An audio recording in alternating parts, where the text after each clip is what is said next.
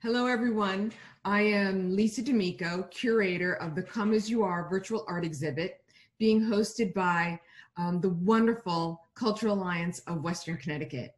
And I have the pleasure right now of speaking to one of the exhibiting artists, Mr. Franklin Silva. Franklin, I'm so excited to speak to you about your piece, Divine, that's in the exhibit. And um, for anyone who hasn't seen Franklin's work, please check it out through the exhibit. And if you go to cawct.org, there's also a link that will take you to see more of Franklin's work. And I cannot recommend that enough. But let's talk about Divine. Okay. Uh, good morning. Good morning. Uh, yeah, uh, Divine uh, is my inspiration about glutton. And that piece talk, um, talk more about inside, about ourselves uh, with one direction with capitalism and how much we want to take things or buy things. Uh, in some way, sometimes it's not necessary, but sometimes we feel, I want to buy something, I want that. And sometimes we, if, if someone asks me why you need to buy that, sometimes we'd say, I don't know. So I make the divine looks like a person feel superior than someone because can can have I can have everything because I can do everything. And that person don't have idea. He's he's normal like us. He's a human. And I make that big belly because he's just feed and eat a lot of things objects uh, cell phones cars, whatever, uh, and it feels so big with that. And the shape about the body is like a thin person. So for just we pay attention, uh, how much that person needs to eat more, uh, or when he will see, I don't need more. Oh wait, I, I really need that. Uh, what what is the good or dangerous for the world if I don't have a control about my my switches. Uh, and yeah, so my piece talk a little about this capitalism or how much it needs to be fed for have something for my life. It's sometimes not necessary. Um, yeah, I think it, I think it's, it's about this, Lisa. It's for with that direction. Franklin, you, your piece is monochromatic. It's just black, white, and gray. Was that something that you had decided from the beginning, or did that evolve? Uh, yes, I decided in the beginning. That's the second piece about gluten. And for me, it's more dramatic to use just black and white or grayscale. Uh, and that's really represent what I want to say. Uh, I, I, don't, I don't want it to include colors or take one impression really happy because it's something if i really want to everybody pay attention uh, what that's mean uh, what is just grayscale yeah my idea in the beginning is just black and white. It really your piece i find it this is to may sound silly but i really find it delightfully disturbing because of the imagery and because of the lack of color. Because that feeling of gluttony is so obvious. And yeah.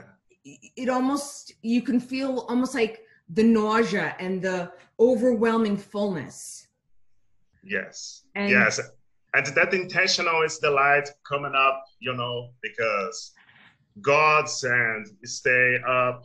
And that idea if that guy looked it up and I'm I'm supreme. I'm I'm the I'm the master or whatever, you know. So needs to be strong that light in his face uh, and the darkness around. So yeah. it's terrific. Tell me, when I read your artist statement when you submitted the piece, it said it's part of a series. Yes, uh, I have this series uh, about glutton, and I have the first piece. The first piece you can see uh, one guy eating everything, just objects, uh, and you'll see their eyes for another way. And it's really interesting. I made that first piece, and I want to show the body for everybody. So we have two moments about you see the face, and some people feel confused if that person vomit or just eat a lot. And we have that second piece. It's for for me, I, am really happy to create that because uh, people can understand the beginning, what happens there. So yes. I love it. So it's kind of like the evolution. Exactly. I love exactly. it. To see the other piece in the series, should people go to your website, your Instagram, both? Both. You can see in both pieces. Both is black and white, so everybody will see the relation. I, I think in Instagram I make the post together. Mm-hmm. So if you see one, you can see another one. In my homepage is together too. In the section about paintings, you can see both pictures. Okay, I will include your information when this uh, video goes to edit so that people can easily find you and see more of this so they can see this whole kind of growth that you've done with this series. Um, mm-hmm. My last question, and it's kind of kind of basic and rudimentary, but why did you name this piece Divine?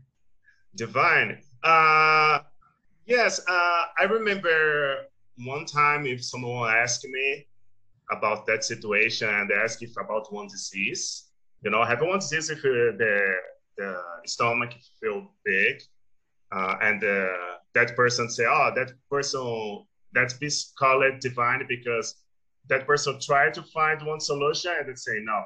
Uh, it's just defined because he looks like a god. He's look like a not a human. Uh, you know, yeah, and it's not this. You're not you you aren't special or better than I. We mm-hmm. are the same. So it's I, I, I kid a little with that name.